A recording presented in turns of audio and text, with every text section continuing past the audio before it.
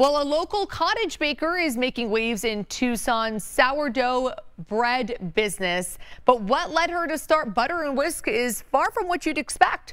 Jacqueline Aguilar is in the southeast with her story.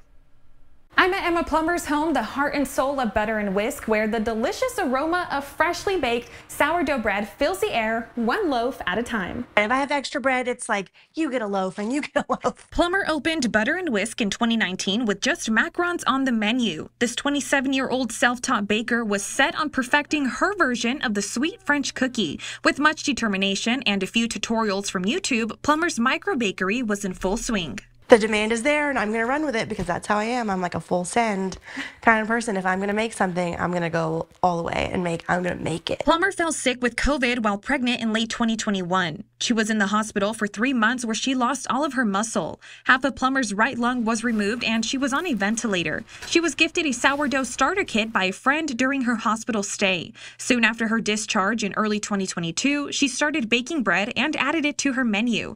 Now, Plummer fulfills about 100 sourdough bread orders every Friday, not including the macarons. I couldn't stand in the kitchen for very long. Um, my husband did it with me, so we, we learned together. I would sit at the island and he would, you know, I would tell him what to do, the next step, and what to measure. Balancing motherhood and a business was hard for Plummer at first, sharing that most people ask how she even manages to work from home with her kids. But her two little assistants are nothing but helpful. Plummer tells me her six year old Asher loves to rinse dishes and sticker the pastry bags. My two year old likes to help me put the lids on containers and you know little things like that. But they've adjusted really well and I try to be completely done working for the day by the time they come home from school and daycare. You can find Butter and Whisk at markets around Tucson. Find out where Plummer will post shop next on our website, KGUN9.com. Reporting in the southeast off I 10 and Wilmot, Jacqueline Aguilar, KGUN 9.